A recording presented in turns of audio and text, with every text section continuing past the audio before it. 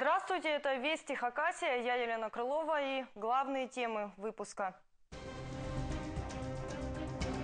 Чудеса дисциплины демонстрировали сегодня автомобилисты Абакана. Несмотря на гололед, день жестянщика не состоялся.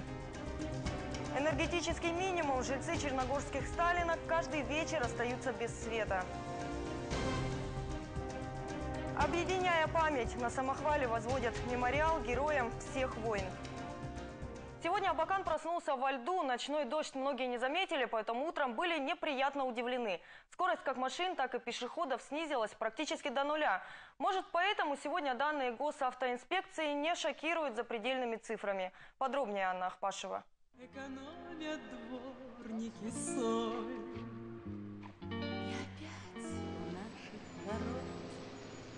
Каждый шаг неверен, как сон. Гололед, Гололед А люди в городе гуляют по льду И не считают гололед за беду Пожалуй, только чувство юмора помогло сегодня жителям Абакана пережить утреннюю глазурь на дороге. Хотя, как известно, было бы не так смешно, если бы не так грустно. В городской травмпункт с утра выстроилась целая очередь. Неудачно приземлившихся в два раза больше, чем в обычный день. Ну, тороплюсь на паспорт сфотографироваться. Ну, раза два уже упал, по-моему. Обходим, но аккуратно. Присаживаемся как-нибудь там. Ну, стараюсь по краешку обходить. Ой, очень сложно, это очень опасно. И ничего не, подпис- не подсыпано, конечно, неожиданность. Ледовой коркой утром было покрыто все. Многие из тех, у кого машины ночевали во дворе, не смогли даже открыть двери авто. Рискнули выехать в город тоже немногие. Преподнеся тем самым приятный сюрприз госавтоинспекторам. Готовились к худшему, однако аварий случилось даже меньше, чем обычно. За что отдельное спасибо. Сегодня зарегистрировано три дорожно-транспортных происшествия с механическими повреждениями. Э, Хотелось бы поблагодарить участников дорожного движения за сегодняшнюю дорожно-транспортную дисциплину, за соблюдение пункта 10.1 правил дорожного движения Российской Федерации. Впрочем, расслабляться пока рано. Кидать из плюса в минус столбик термометра еще будет и не один день. Прогноз на предстоящие трое суток неутешителен. Э, Сегодня ночью прогнозируется также дождь, перех- переходя- переходящий в мокрый снег.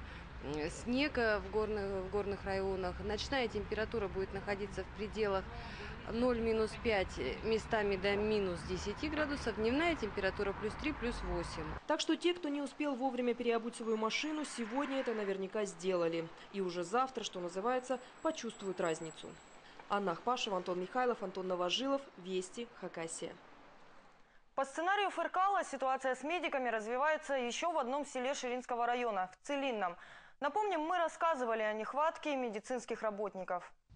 Село Фыркал лишилось последнего фельдшера. Сегодня же к нам в редакцию обратились жители села Целинное. Они уверяют, их ситуация в точности повторяет сценарий Фыркала, где люди полностью остались без медицинской помощи. Только проблемы не в жилье, дом врачу предоставили. За три года семь медработников покинули деревню и переехали работать в частный санаторий.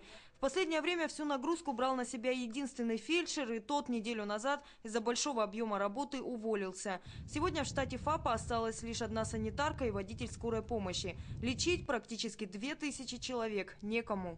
Народ уже начинает подниматься, так как уже неделю уже сегодня как нету работников. Сегодня уже приходили ко мне бабушки, поднимали проблему эту. Больше 300 только у нас пенсионеров. И вы сами подумайте, как можно в данный момент обслужить, если они даже уже некоторые и ходить не могут. Им нужны капельницы. Вот на сегодняшний день у меня два дня уже человек сидит без капельниц вообще. Бабушка одна. Ажиотаж вокруг выдачи бесплатных участков в Хакасии возрастает, очереди желающих приобрести наделы растут, так же, как и проблемы с их выделением. В правительстве все трудности называют рабочими и просят жителей республики набраться терпения. Программа только набирает темпы. О том, что уже удалось сделать, сегодня говорили на совещании в правительстве Хакасии. Подробности у Ольги Стельмах. Сверить результаты, обсудить трудности. Главы городов и районов вместе с министрами подвели предварительные итоги по выдаче земельных участков. Наделы уже получили 3,5 тысячи жителей республики. Больше половины из них – многодетные семьи. По оценкам специалистов, при таких темпах заметно сдвинуть очередь удастся менее чем через год, а резерв на 2014 – 10 тысяч участков. Нашему району дали квоты по многодетным семьям в зеленые, э, 156 участков наших граждан, которые изъявили желание зелено взять земельные участки. И также в районе мы 36 участков выделили в этом году молодым специалистам. Земли-то хватит. Э, Вот самый главный вопрос – это инфраструктура, электричество. Если у одних муниципалитетов больной вопрос инфраструктура, то для других непосильной остается подготовка земли к выдаче. Сложности, наверное, все-таки в вопросах финансирования. Чтобы сформировать, э, скажем, э, земельный участок, там тоже, то есть межевать, это для района практически, э, э, практически 800 тысяч. Между тем, в Таштыбском районе очередь по многодетным закрыта более чем на 70%, оформлено 230 наделов. Молодым специалистам районной власти пока выдали лишь 20 участков, но до конца года планируют удвоить эту цифру. Цифры тоже впечатляют. А, Темп, который э, перед нами как задачу ставил глава республики, я считаю, что мы к этому темпу приближаемся вплотную. По крайней мере, по 2013 году те прогнозы, которые у нас есть, Впрочем, вместе с ажиотажем вокруг бесплатной земли в Хакасии увеличилось и количество жалоб на работу специалистов в два раза по сравнению с 2012 годом. Есть характерные, э, так скажем, жалобы, как то э, на местах не регистрируются э, обращения граждан, муниципальное образование, так скажем, п- проходят все сроки по предоставлению ответов, ну, жалуются на формальный подход. Разговор о жалобах и острых проблемах, с которыми столкнулись при реализации законов, по-видимому, продолжили в более жесткой форме. Вторая часть заседания прошла за закрытыми от прессы дверями. Ольга Сельмах, Антон Михайлов, Вести, Хакасия. Прожиточный минимум для пенсионеров Хакасии поднимут. Этот вопрос сегодня обсуждали на Президиуме Верховного Совета. В республике более 15 тысяч пожилых людей, которых по закону положена доплата к пенсии, так как она ниже прожиточного минимума. В этом году выплата для этой категории населения составляет 6 тысяч 59 рублей. С января следующего года эту сумму увеличивает на 4,5%. В итоге минимальная пенсия в Хакасии уже со следующего года возрастет до 6 тысяч 330 рублей что все же ниже прожиточного минимума, установленного по России на 24 рубля. Доплачивать будут из федерального бюджета, для этого в пенсионном фонде уже предусмотрено 223 миллиона рублей. С увеличением минимального порога возрастет и количество человек, которые нуждаются в доплате до 17 тысяч. Еще один вопрос, который обсуждали сегодня на заседании – Компенсация родителям, чьи дети посещают детские сады. Такие льготы существовали и ранее, но не касались частных дошкольных заведений. С новыми поправками, которые рассмотрят на ближайшей сессии Верховного Совета, закон охватит и коммерческие организации. 10% ежемесячно будут возвращать семьям, если за детьми присматривают и ухаживают в частных садах. В финансовом плане сейчас муниципалитеты будут устанавливать, они получили право законом э, размер родительской платы, но не выше того, который устанавливает правительство республики. И вот предварительная прикидка показывает, что поскольку скачка повышения размера родительской платы не будет, возможно даже будет понижение, поэтому мы с Минфином вот согласовали именно в таком плане, что на, на сегодняшний день э, дополнительных размеров э, финансовых, вернее, вложений не потребуется.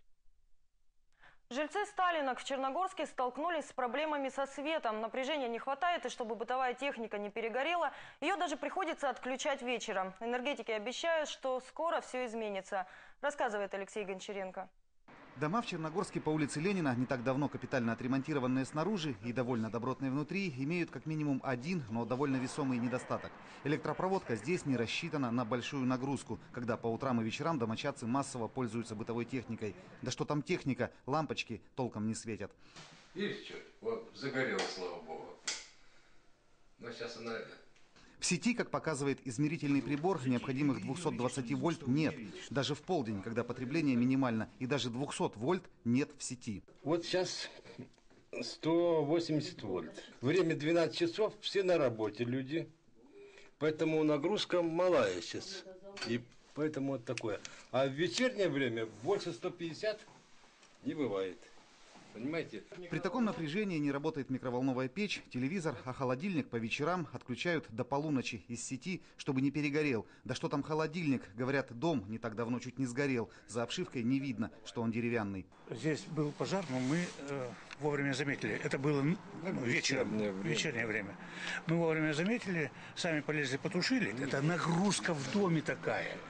Та- такая сечение не отвечает, сечение провода не отвечает нагрузке. На обращение в Роспотребнадзор на днях пришел ответ. Энергетики планируют заменить на линиях электропередач старые провода на новые, создав большой запас прочности. В микрорайоне ждут этого уже не один год, но черногорцев смутил срок, в который должны уложиться энергетики до конца октября. Едва ли.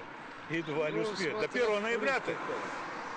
Вообще-то черт их знает, как они будут работать. Ну, Это ж не одну опору, не одну опору, а по всей линии надо. Чего не могли сделать за предыдущие годы, энергетики теперь обязуются сделать всего за два дня. А Задача такая поставлена. Значит, я думаю, что данные работы начнутся 29-30 числа. Значит, там тоже все-таки необходимо, наверное, потребителям э, отдельным отнести, отнести со снисхождением, потому что работы будут проводиться, а эти работы связаны с отключением. Но это делается на благо как бы потребителей, мы это понимаем. Поэтому данные работы мы проведем. И первому числа, числу, как э, и заявляли ранее, значит, данные работы должны быть закончены. За последние два года, по информации Хакасэнерго, в реконструкцию сетей в Черногорске вложено почти 150 миллионов рублей. Но повсюду успеть невозможно, потому что, по информации этой же организации, причина в самих потребителях, покупающих слишком много современной бытовой техники. Алексей Гончаренко, Сергей Казмин, Вести, Хакасия. В Хакасии резко увеличилось число пожаров. За минувшую семидневку их зарегистрировано 29. Это в пять раз превышает средний показатель. Пример позапрошлая неделя. Пожаров было всего 6. В республике горит все. Надворные постройки, частные дома от трех до семи пожаров за сутки. Накануне из-за халатности без крыши над головой остались две семьи. Сгорел дом на орбите и в селе Неожиданном в Аскиском районе. В Знаменке Багратского района фермер из-за неосторожного обращения с огнем неизвестных лиц потерял 20 центнеров сена. Спасатели добавляют, минувшая неделя для Сибири была теплой. И негативную картину на погоду списывать не стоит. Практически во всех случаях причина пожара – беспечность. Спасатели обнаружили на дне Енисея лодку пропавших рыбаков. Людей пока найти не удалось. Напомним, судно, в котором было шестеро мужчин, перевернулось 19 октября. Троим удалось выплыть, еще троих спасатели ищут уже четвертые сутки. На Енисее работают водолазы, и один из них буквально нащупал затонувшую лодку на глубине 20 метров. Поскольку в таких условиях техника, которая есть у спасателей, бессильна, дно слишком неровное. Ни под судном, ни рядом людей не было. Спасатели не скрывают, что шансы обнаружить тела слишком малы. Их, скорее всего, унесло течение. В Красноярском крае девушка сбила на машине медведя. Об этом сообщают краевые информагентства. Зверь вышел на дорогу в районе Сосновоборска. Рулевая «Тойота» не справилась с управлением и сбила его. Медведь сильно пострадал, поэтому прибывшим на место автоинспекторам пришлось его застрелить. Добавим, что в понедельник в Сосновоборске застрелили еще одного медведя. Он вышел на автозаправку, животное вело себя агрессивно. Автобус есть, а попасть в него невозможно. Обитатели Абаканского дома ветеранов уже несколько лет испытывают неудобства, связанные с общественным транспортом. Автобус, пятый маршрут, есть, он ходит по расписанию. Автобусной остановки нет. Заходить и выходить из автобуса пожилым людям и инвалидам крайне неудобно. Тему продолжит Олеся Калиниченко. Абаканский пансионат ветеранов рассчитан на 600 человек. Это не только пожилые одинокие люди, но и инвалиды. Из них половина, то есть около 300 человек, продолжают вести активный образ жизни. Регулярно выезжают в город по делам и часто пользуются общественным транспортом. Я на репетиции выезжаю. Понедельник, среда, четверг. Вот. Пользуюсь частенько автобусом. И вот вылазить неудобно, сильно высоко. Площадочка. С той стороны хорошо, вот удобно, с этой стороны высоко. Да не только мне. И со- я и сотрудников спрашивал, и им тоже плохо. Тоже, говорит, неудобно вылазить. А сейчас тем более зима начнется и вообще будет гололедица. Со стороны Дома ветеранов остановка оборудована полностью. Есть место, где можно спрятаться в непогоду и, самое главное, высокий тротуар и карман. Остановка напротив, от нее уезжают в город, прямая противоположность. Это просто гравийная площадка, которая в непогоду превращается в большую лужу. И бабушки ездят у нас, и и на рынок вот ездят за продуктами, ездят и в город, и в гости ездят. Им тоже неудобно. А у нас возраст от 70 выше. В управлении коммунального хозяйства и транспорта о проблеме узнали от нашей съемочной группы. Жалоб из пансионата ветеранов, письменных или устных, не поступало. До конца этого года оборудовать остановку по всем правилам вряд ли получится. Нужен проект, масса согласований с госавтоинспекцией и, самое главное, деньги. Эту работу мы планируем на 2014 год. Поэтому я прошу немного потерпеть. Мы э, с началом следующего строительного сезона эту работу выполним. Дополнительно могу сказать, что мы посмотрим, может быть, что-то подсыпать надо будет, что-то поменять э, уровень именно этой площадки. Это мы можем сделать сегодня. Как вариант, в управлении рассматривают перенос автобусной остановки ближе к пансионату ветеранов и дому-интернату «Теремок». Но для этого потребуется частично изменить маршрут «пятерки», а это дополнительные расходы. Олеся Калинченко, Антон Михайлов, Вести, Хакасия. Гору Самохвал украсят Хакасские ворота Халха. Первый этап строительства мемориального комплекса памяти погибшим при защите Отечества завершается. Строители приступили к работе в середине лета и к середине осени сделана полная планировка участков 400 квадратных метров. Рабочие разровняли территорию, проложили лестницы, бордюры, брусчатку. Территория готова для установки скульптуры памятных плит. Первыми возведут так называемые входные ворота Халха, через которые по хакасским поверьям гости могут очистить свою душу. Вот они лежат, то есть мы их э, замонолитили, скажем так, и остается замонтировать готовые стаканы. А весной планируется перейти ко второму этапу строительства. Здесь появятся изваяния, скульптуры, оформят газоны, высадят родовые деревья хакасов.